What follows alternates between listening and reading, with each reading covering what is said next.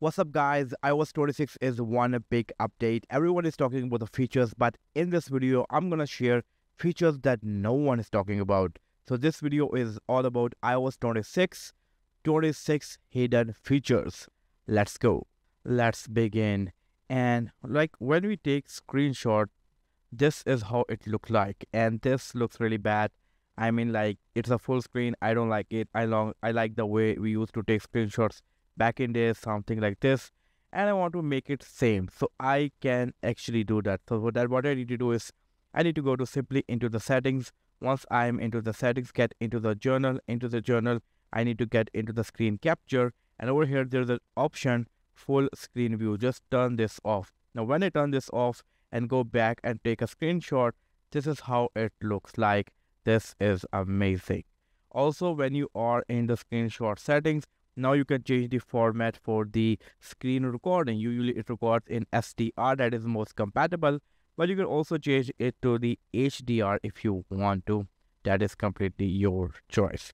So you can select from here another really really useful feature for the people who want to record um screen videos in HDR also when you go back and you get get back into the accessibility over here now there is a new way to use your iPhone and that is head tracking.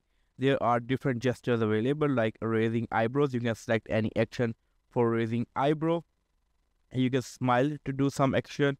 There are different options available for the actions. And now by just the movement of your head and you know moving your uh, features of your face, you can control your iPhone completely. Amazing feature for the people who want to use it. Also moving to the next one, when you are into sound and haptics, now you have the option of microphone over here. So you can go over here and select like you can see how many microphones are attached to your device. Maybe another one is attached using, you know, Bluetooth or something like that. And you can select the default one, whatever you want to use. Go back from here. Now you have the option to show silent icon in this status bar. This is also there and if you want to do this you can do it. When you go down from here now there is a late night mode option over here. I haven't tested it out that what it is all about but you know it is great to have uh, one more feature. Now when you go to the phone over here it is pretty much changed. As you can see there is a new design. And if you don't like this design what you can do is you can tap on these lines over here and from here you can select the classic one and now it is back to the old design as you can see it's again your choice.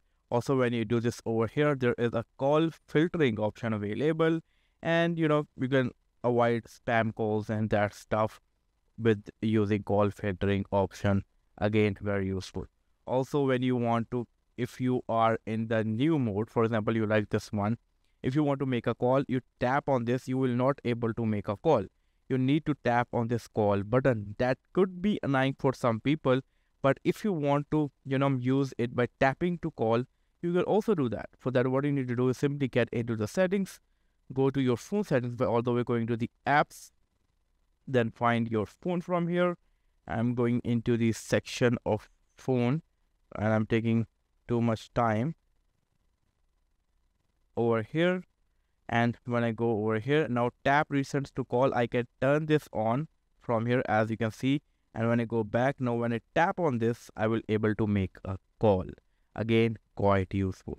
Also when you are in the messages over here in your messages now when you tap on the username over here now you have a new background option available. You can select different options from the background. You can also select photos from you and you can also let playground generate a background for you. Another really really cool feature. Um uh, one feature that no one maybe talk about that. You usually when you are in settings of this iphone you usually do swipe like this. If you do this over here nothing will work. So you could you have to do something like this. You know this is how the iphone used to be but now it is changed. You can swipe anywhere on the screen to go back something like this as you can see. It can be, you know, a useful feature for many people. And there's no way to go even more back. So yeah, this is another change. Also, when you are into the battery settings, go to power mode. Now there is a new adaptive power mode, you know, that um you know manages your battery according to your requirement and set the performance according to that so if you want to try this out you can try this out also now when you put your phone on charging it will show that how much time it is going to take. So if i grab my power bank give me a second over here i am grabbing my power bank. Sorry for it. This is my power bank. Let me put this device on charging. I don't know if this um case will allow me to charge. Okay now it is charging and it will take a small time and then it will calculate as you can see. If i show you it is showing me how much time it is going to take to charge until 80% and then to the 85% another useful change this is one of the change that people were waiting for a very long time. It was supposed to come with the ios 18 but now it is over here with the ios 26 great change.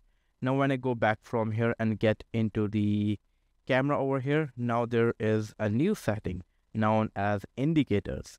So when you are recording something you can view the indicator that in what format you're recording or you can you know turn on the action mode indicator. So when it is on it will let you know that action mode is on. Quite useful. Also when you go back when you go all the way down now there is a new option over here lens cleaning hint so when your camera lens is not cleaned properly it will give you like clean your camera lens to take good pictures. Another one now we all know that there is a new um icon clear icon how they are look like like this one. But maybe some people don't know that they are also available in the dark clear mode. And this one also looks really really good. So another cool feature. But are you fan of this? Um they look good but yeah i'm gonna stick to the dark ones. Dark ones i really like this one. They look really really good. Really neat also when you tap and hold and get into the edit over here now you can edit your wallpaper background right from here. You don't need to go to lock screen. Always you can do this right from here. Another cool feature. Also when you are in the playground app over here and tap on the new option over here now there is a chat gpt and genmoji integrated into your playground app. And for some reason my device just resprings my device just resprings in front of you. This is called ios 26 beta 1 it's not because it's ios 26 it's because it's the first developer beta. So yeah things can happen. Okay coming back to the video. Now you can create genmoji right from here and you can use chat gpt for creating images right from here. Again quite useful. Also when you take screenshot something like this tap on this. Now you can do something like this to get to know what we, is on the screen. Visual intelligence will work for it. I think it is going to be available for the iphone 16 models and the iphone 15 pro and pro max. Another cool feature. Now many people are talking about that there is a new game app but no one is talking about that there is a new preview app. A preview app is all about your documents. Whatever your document you have saved on your device again it is taking a long time now straight from this device you can go and scan the documents. Not only that you can sign up new documents. You can create a new empty image and you can create your site and you can export that as png again useful feature. Now when you are into your settings we all know with the ios 18 there was music haptics that was launched. Now music haptics is taken to the next level with more settings. So get into the accessibility. Now go over here into music ha haptics. When you turn this on now there are more settings available. You can go for the vocals only full mix intensity. You can set up the intensity or vibration and do this sort of stuff. Again quite useful. Also when you are on your lock screen tap and hold. Now from your lock screen what you can do is if you want to find the wallpaper that you have set the wallpaper you know ages ago and you don't know where it is in your photos app just tap on this and show in the photo library and it will take you directly to that wallpaper. Quite useful. Also now you don't have to you know open your all the wallpaper setting. You can just tap on this and select a new wallpaper right from here. Quite useful again. Also when you are into your settings let me get to settings get to the General and get to the fonts. Now there is more font option available. Where there are different fonts option available you can install. Before this, you have to go to the app store and download them. but now they are already integrated over here and if you want to try them you can try them. So these are all 26 features that no one might be talking about. They are amazing. They are like if you like any of these features just let me know in the comment section below. Make sure to subscribe the channel. And yeah that's all from this video and i hope to catch you guys in the very next one. Until then take care. Peace out